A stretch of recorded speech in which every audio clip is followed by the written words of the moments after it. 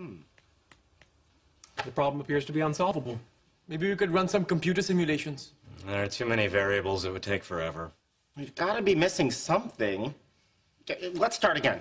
The movie is playing here at 7:20, here at 7:40, here at 8:10, and here at 8:45. All right, these theaters have to be eliminated. Why? They're state-of-the-art digital projection, 20-channel surround sound. Yes, but they have no ICEE machines. Despite my aggressive letter writing campaign, I might add.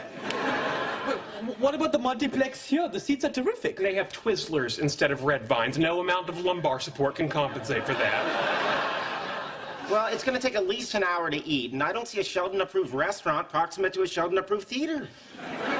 We could eat after the movie.